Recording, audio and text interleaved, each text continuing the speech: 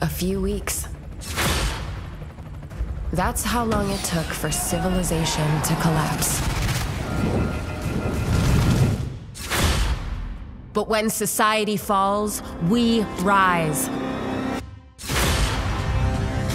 We are agents of the division, and our orders are simple.